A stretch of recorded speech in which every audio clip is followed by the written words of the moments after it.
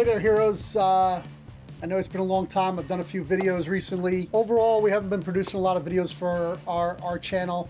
We've been doing a lot for Tales for the Flip Side. Go over there, check out how to open a comic book shop. Like, subscribe to those guys. While you're here, if you like the our new content, as I'm going to go over some, uh, everybody knows I'm the indie guy, right? I love independent comics, all different years. Um, I just have a, a real affection for them. We're going to go over some of the companies that were flash in the pans. They didn't last very long, but they produced some really great comics that a lot of people don't know about. And when you're in the dollar bins, 50 cent bins, you can find these books. You know, it's not going to make you a fortune. You're not going to get rich off of them. They're probably not going to make any movies for them, but you're going to really enjoy some of these stories. Some of the comics went on to move over to other uh, comic book companies and we'll go over that too. So this first episode is going to be about Speakeasy Comics. They opened in 2005, a guy named Fortier, and it was a Canadian company. They had 32 titles. They were only open for a year and a half. Well, they really started in 2004. First book came out 2005, and they were closed by the middle of 2006. I can't give you a synopsis of the books because I read them when they came out in 2005. My memory's not that great. I went looking through my bins and I really didn't have any that I could show. We're going to put some um, pictures up so you can see what the books looked like. First one I really loved was Hero at Large. Funny, it only got two issues before they closed down. It was a really great book. Sadly, they didn't. That book didn't move on to anywhere else. I would have really loved to hear, see the conclusion of that. But I remember that book very fondly. Like I said, that that name came to me immediately when I was thinking back, and I couldn't remember exactly what it was about. Kind of think it was about a homeless hero. It was really great. There was also Lone Bow, so very much like Green Arrow. Most people would probably know either the Atomika, which went went on. It was an award-winning book. It went on. It moved to uh, a couple of different companies after that. I think it also got uh, printed by Image at, at one point. The art on Atomika, the cover art is insane. The art through the whole book is really great. It's Atomika, the Red Hero, I think. So it's like a Russian superhero. Cool book like I said, the art is phenomenal. The story doesn't really punch back to me, so I think that was more of an art book than a storybook, but check it out, and maybe uh, it's something of your taste. There was also Of Bitter Soul. Of Bitter Soul went on to Image, and it was printed for a while there. Then there was eight different books of their 32 that went to uh, Markosia, and we'll talk in a little bit about Markosia, who's actually still around now. They're kind of changed their format, but uh, we'll get to that in a minute. So Speakeasy had a great idea and a great idea, uh, a great eye for talent, great idea for a comic uh, company. Uh, sadly, they were undercapitalized and marketing wise and financial wise, they didn't their idea didn't match their execution. I'm a big guy on execution. I think that the artists and the writers really executed their books. I think the company itself couldn't execute marketing and distribution. If you find these books, they are super low print. Super low print. Another book, and you can actually see the numbers, a lot of the numbers of Grimoire was one of their big books. And I think the highest selling one of the Grimoire was like 4,000 most of their most of the Grimoire series was like around 3,000 copies. So these books are pretty low print. Uh, so they will be really rare in the future. I don't think they'll have any value because I don't I don't think that anybody that has the owns the IP. I believe the creators themselves owned all of the IP for their stories. If they aren't hooked up with Hollywood or have any way of getting the stories into the hands of producers, production companies, or film companies, I just don't think you'd get a chance to see them. Atomika would be very cool. I mean, it, it looks very cinematic in, in, the in the comic itself. Uh, I think Grimoire really would lend itself to a uh, animated series. I'm not going to list all 32, but they you can find them. It's actually pretty hard to find online. So I went to Comic Book Realm, and you can't search by publisher so you can't really find out what they all publish by. Where I ended up finding all 32 was on comicbookpriceguide.com. You can search by publisher on that series, and they did have all the books by Speakeasy. Even on that site, they didn't have scans of every single one of the books. Even ones that had like three and four issues, they didn't have any of the four issues. So the print run is so low that the companies who show you what books are out there don't have pictures of them. If you watch my show over on Tales from the Flip Side, I went to uh, Overstreet Access and they only had three of the books from Speakeasy listed on their site. Now I know they're adding stuff all the time and where are you going to put your focus, right? Are you going to put your focus on Marvel, DC, and Image, or are you going to do all these really tiny imprints that only lasted a year and a half? So I understand that why they don't have all of them. It's a brand new system, but I'm sure in the future they will. And I'm sure that the Overstreet Price Guide book would definitely have them all listed. Again, you'll have to know the name of the book because the Overstreet doesn't, you can't go through your Overstreet by publisher.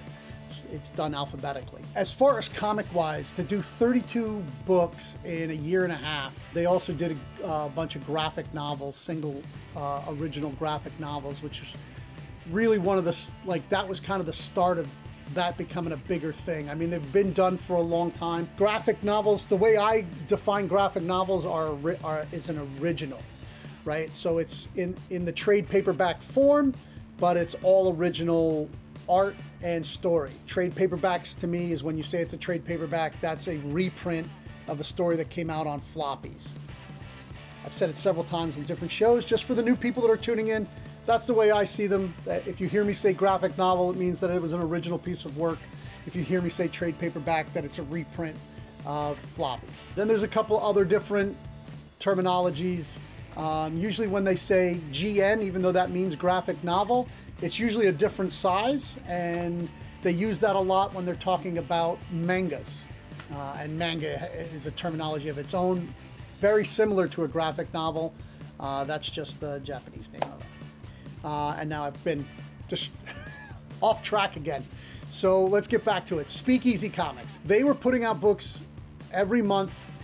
The problem was they didn't get the books finished before soliciting them. So there was a lot of delays. There was a, they had a lot of issues. For somebody that was reading everything that came out on Speakeasy, the first two books that they came out with, I want to say one of them was Heroes at Large and one of them was Grimoire. It might have been the like somewhere in the very beginning. Uh, as soon as I read those, I went to my comic shop. I wasn't an I wasn't an owner at the time, and I said I want everything that comes out on Speakeasy. So everything came out, one in my box. I didn't end up collecting all 32 books because I don't I at the time and still am not a graphic novel collector. So I wasn't reading the graphic novels. So I did get pretty much every one of the single issues that came out. Now, what happened was when that when that company failed and they went out of business, there was a there was studio inside of that comic imprint that made eight of the 32 books, and they took all eight books and moved over to Markosia, which is a company that was started the same time, 2005, in U the UK, and they still are open today. They do mostly graphic novels they do a lot of digital comics. When they started out, what they did is they they were a light a company that picked up a bunch of licensings. Uh, so I believe they were the only ones that had a Starship Trooper license. If I'm wrong, please comment. But they had like eight different series. It seemed like they had like eight different series, but it was really an ongoing series with just different arcs. So like one through four was a certain arc, and then five through I think eight or 10 was another arc. And I think it got up to like, I want to say it got up to like issue 24, 26, something like that. But that's where they started, and then they brought on all these books, all eight books. So it gave them a lot of original content, original IP immediately. Like right away, they, they jumped on running. They also then started to create some more of their own independent, creator owned books, uh, original stuff. Uh, one of them was uh, Carnival of Souls. I think that's a name that's been used a bunch of times. I don't know if it was a play on the novel. Uh, it may have been a bunch of really great covers for both of those series, Starship Troopers and um, Carnival of Souls. There's a Clayton Crain number. The number five issue had a B cover that's a Clayton Crain. It's an amazing clown cover. I think it book. I think it lists for like three bucks. Uh, you can usually find them in dollar bins. Really, really, really cool. I mean, amazing cool cover. And a lot of the Starship Troopers, if you like science fiction and you like science fiction art, a lot of those covers in that Starship Troopers run are amazing. Surprisingly, like this is a company that has figured out how to survive this long and you've never heard of them, right? So they're based in the UK. They're, they're they make a lot of U stuff printed and, and sold in the UK. Again, it's M-A-R-K O-S-I-A, Markosia. The owner, the founder's last name is Markos. So he just added an IA to the end of his name and it became the comic book company. They still have a website, it's markosia.com. You can go check them out. Not only do they take on those eight books, but they picked up that idea of doing original one-shot graphic novels. They've produced a lot of them over the years. They have over, now they've had over a hundred titles that were, were sold in the American mass market that you can find on online in either Comic Book Realm, Comic Book Price Guide. Again, you can search by the publisher. You can go to um, Overstreet Access and, and go by publisher. And they had a hundred different titles that come out, and you can check out each one. One thing I, with the price guides I wish they would add is just like a little synopsis of what like you have to be searching like you can't just like find stuff. Like hey i want to i want to read a sci-fi book that has like gods in it. And you put god sci-fi gods. And like it would give you a list of comics and then give you a little synopsis of each book. If there's a site out that out there that does that and you know about it please put it in share it with the community because I'm always looking for stuff to read that I've never heard of.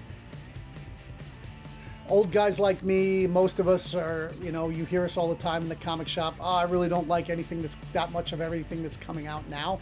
We we always looking for some of the older stuff.